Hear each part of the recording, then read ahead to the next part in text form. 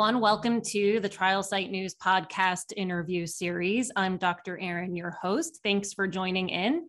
Today, my guest is Dr. Niko Andre. He is from AstraZeneca, that they just did a clinical trial, published data on a drug for uh, different types of leukemia and lymphoma, but I will let him explain that. It's called Calquence. But thank you so much for joining us, Niko. Thanks for having me. Pleasure. Yeah. So, first, can you tell us a little bit about you, your background, and what you do at AstraZeneca? Yeah, so my background is I'm a medical oncologist, hematologist by training. Never really joined uh, uh or planned to join industry, but then was really fascinated about the science progress that industry was moving forward with, in particular in the last 15 years. Um, I'm with AstraZeneca now and accountable for the global hematology franchise and the immuno-oncology franchise. So all medicines that we're deploying for hematologic diseases and that we're moving forward in the immuno-oncology space, which has seen significant growth also with regards to our scientific knowledge, but also with regards to the medicines delivered for patients in the last couple of years. So it's a very exciting time uh, uh, to be part of this. Absolutely. And I've, I've been reading a lot about the immunotherapy too. I'm just personally interested in that. It's very fascinating. So tell us a little bit about this phase three trial and the drug Calquence and what, what is the mechanism of action of this drug? So Calquence is what we call a next generation Bruton's tyrosine kinase inhibitor. Sounds very complicated. In fact, what Calquence does, it's an oral medicine that you take two times a day, and it's a medicine that inhibits an enzyme which is very active in particular in B lymphocytes and helps B lymphocytes to rapidly grow and multiply meaning that it's a formidable target in those cancer diseases where B cells are growing out of order and are creating cancerous growth because it allows the suppression of B cell growth and multiplication of malignant B cells. It's a very established treatment concept with the first generation BTK inhibition already being in clinic for several years. But these first medicines have also come with a certain side effect profile. And hence, science is always interested in advancing how these medicines actually have an impact on the disease, but also how they're improving on the tolerability profile. And Calquence, as next generation Bruton's tyrosine kinase inhibitor, is now available since December 2019 in the US for treating first line and later lines chronic lymphocytic leukemia and also mantle cell lymphoma, which are um, very well characterized diseases in the lymphoma space and where modern treatments with low side effect profiles are actually quite warranted because the treatment duration for these diseases is very, very long. Um, so the trial was Elevate RR. Is that was that the name of the phase three trial? Okay. Yeah. So Elevate RR is actually an, a really interesting trial. It's not the pivotal trial that gave us the label for our major indication, which is frontline treatment of CLL patients.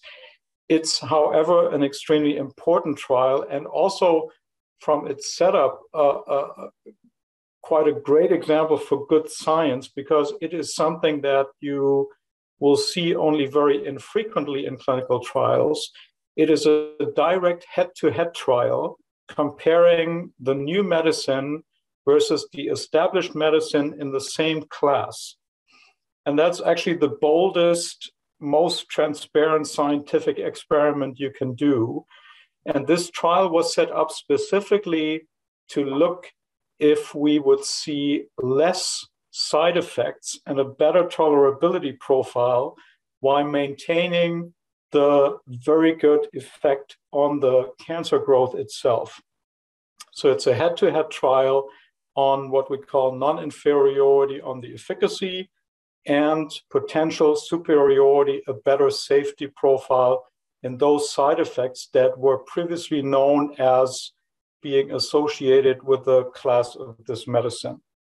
Okay, that makes sense. That that cleared that that up for me as well. So I appreciated that. So tell me about this trial since we're called trial site. Where was it done? How many people were in it? So the trial started in 2015, which also gives you a flavor how long these trials take and how, what a substantial investment they are. And I think that trial site obviously is, is uh, carrying quite some expertise in that, so that might be of interest. It's a trial that enrolled 533 patients in the control arm and in the study arm.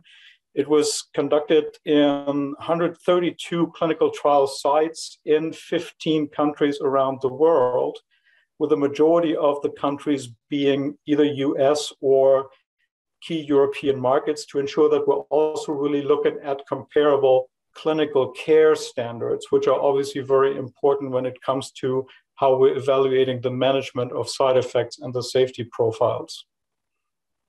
All right. So lots of places uh, to, to get results from here. So you mentioned that you were basically testing the safety of this drug against the established drug.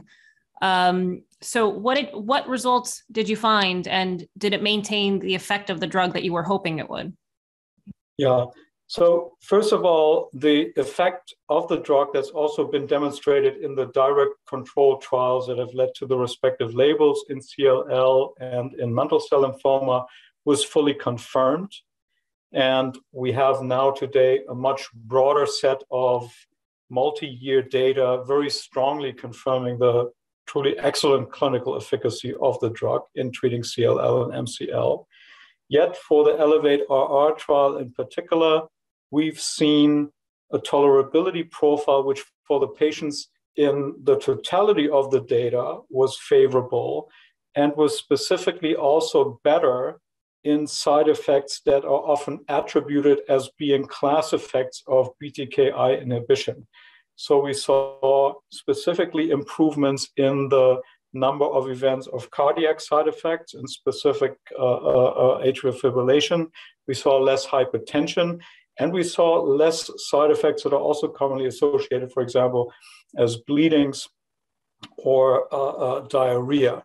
So we've done and that's the specific of the latest publication at ASH this year. We've done additional analysis beyond the first publication to put the side effects into a time horizon perspective. So we're not just looking at the side effects and the number in which they're happening, we're looking at how frequent are they, how are they building up over the time to have a much more realistic picture for what the individual patient is actually experiencing. And in these additional analyses, which have just been published at this year's ASH, and uh, last year's ASH in December, um, we've seen that the tolerability profile is actually quite favorable for Calquence. So in essence, it gives you the same efficacy, but it comes with a better tolerability profile. For me, as a hematologist oncologist, what is always very important is talking to colleagues and ask clinical experience and the day-to-day life what their patients is. And the feedback that we're hearing from the colleagues in the field, the hematologists, is that they see an extremely well manageable tolerability profile. They see much less bleeding. They see hardly any cardiac events. And with bleeding, I mean bruising. So it's more like getting bruises when you bump against something rather than really have having nosebleeds. One side effect that is still very common for Calquence is headaches, but these headaches are very well controllable because they're not like super terrible. So you can easily treat them with standard headache medication. And hence, we're actually looking at a medicine that is now seeing very rapid uptake in clinical standard use simply because physicians, once they're using it, see that it's really so well tolerated, while they certainly can trust on the full efficacy of the medicine as BTK inhibitor. Interesting. And just to clarify for some folks, when you said ASH, you're talking about the American Society of Hematology. Is that right? Yeah, ASH is the American Society of Hematology. They have a meeting once a year, which is their global meeting. It was actually, interestingly, one of the first times that we had an in person virtual hybrid meeting again. I actually went to Atlanta where it took stage and it was wonderful to reconnect with the colleagues, with the research community. Obviously, much less people there, but uh, I'm I'm excited about getting back to normal because the direct interaction and scientific exchange obviously makes a huge difference. I think we're all excited about getting back to normal. Um, maybe, maybe 2022 will be the year for that. Um, I wanted to ask you, and I know you did a great job of talking about the different um, safety concerns and how Calquence uh, did better there against the standard drug, the controlled drug, so to speak. Uh, is is atrial fibrillation, atrial flutter? That's a that can be a significant issue. And was that is that like a high on the? I, I just wanted to dive into that a little bit more. Yeah, so atrial fibrillation, and I've been treating many patients with atrial fibrillation myself while I was uh, uh, active in clinic in internal medicine. It's actually quite frequent in the elderly population. So at times it's even hard to say is it from the medicine or is it just an impact of age? And we also have additional data of that through meta analysis from uh, uh, all of our trials uh, recently published by Dr. Brown, which give us additional confidence in that space. Atrial fibrillation is something that in the long term, because your heart is, is, is just moving so irregularly, it can cause coagulation inside the heart. And these coagulated blood clots can actually uh, uh, uh move into the brain circulation and cause strokes or other what we call emboli, so that there's a uh, an emboli stuck in the bloodstream. And that's obviously uh, what has to be avoided. So if you're diagnosed with atrial fibrillation, you need constant monitoring of your heart rhythm. It can be treated uh, uh with uh, drugs that try to bring you back to the normal rhythm or that at least try to keep you at a normal frequency. It can be treated with uh, um, catheter ablations, where you put a catheter into the heart through the uh, uh femoral uh, artery, and then you're basically using electricity or cryotherapy to kill the cells that are using this or that are that are delivering this abnormal rhythm. But it's it's a condition that just requires constant attention. Yeah, many people live with it and die with it at a normal age, but it's something that once you have it, you can hardly get rid of it. So the main interest is to avoid the onset. And that's where we really see the, the, the substantial strength um, of Calquence. Thank you. That was a great explanation. Uh, I learned something in there too. Lots of things in there.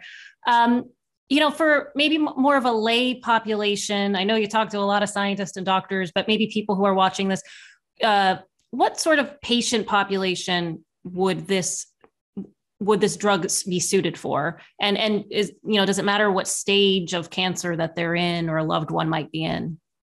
Yeah.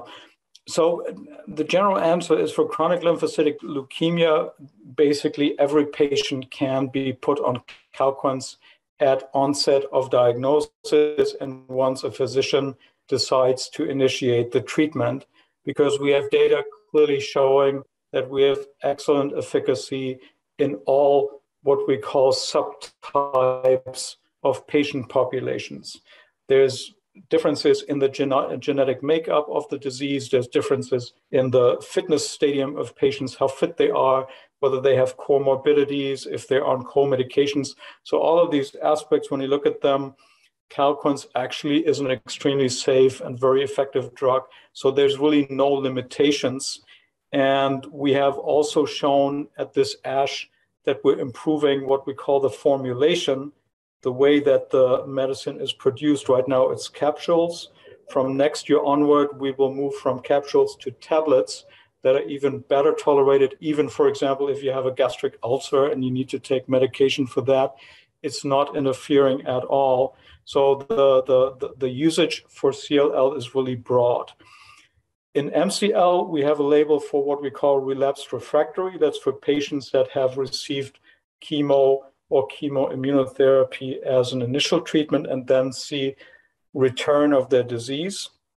But we're uh, uh, in a large scale clinical trial as we talk right now, which is called the ECHO trial, where we're also looking at bringing Calquence to patients right from the very beginning of their diagnosis of mantle cell lymphoma. And we're very confident to see these data moving forward in the years ahead. Fascinating.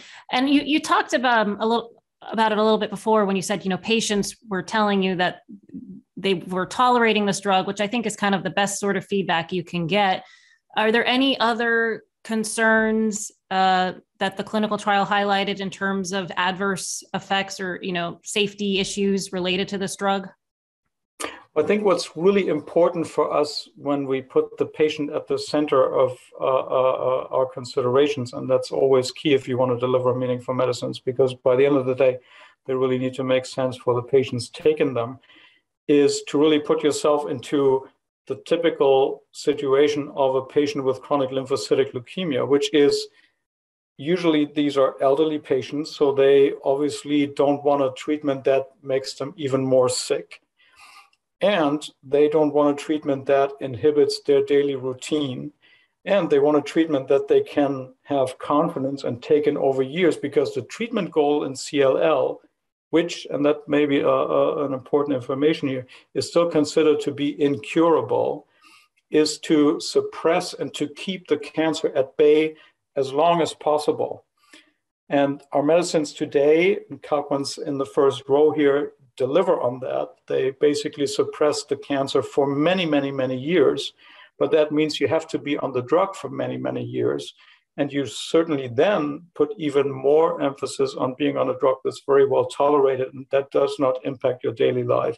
And that's the feedback that we're getting from patients and their treating physicians and the community. And that certainly is a very strong testimony uh, uh, to the meaningfulness of this medicine. Absolutely. So, if a patient, a doctor wants to learn more about this drug, is there a website that they can go to to get more information? Yeah, so I'm, I'm from time to time, I'm always curious to see how the medical education and medical information actually is is is uh, finding its way through internet. So I'm just typing in either the drug name of a, of a drug or the, the generic name and see what pops up. Um, I, I, also did this for Calquence, and the, the scientific name is acalabrutinib. Um, the information that's popping up usually is pretty good and straightforward. I would still recommend, because it's very controlled for quality, balance, and accuracy, to stick to company websites for these purposes. So you can just go in this particular case to calquence.com because it has all the uh, uh, really labeled and controlled information that you want to know. And it's even split into a healthcare provider and a patient and a community information page. So it's really well done if you seek more information. And it also gives you all the support contacts that you may need as a patient or as a healthcare professional to uh, uh, get into more detailed questions in case there's any specific questions that you may have. Perfect. Calquence.com, and we'll include that in the podcast description. It's easy enough to remember, but we'll still write it down. Um, company website, which, and I appreciate your point. There's so many sources of information out there today. So you uh, just go to the company's website if you're interested. Um, thank you so much, Niko, for your time uh, explaining Calquence to us and the results of the clinical trial, um, definitely come back on or let us know if the, there's new results, new trials in the works. That's what we're interested in. And thank you to all our viewers for joining in and hope you guys learned something too.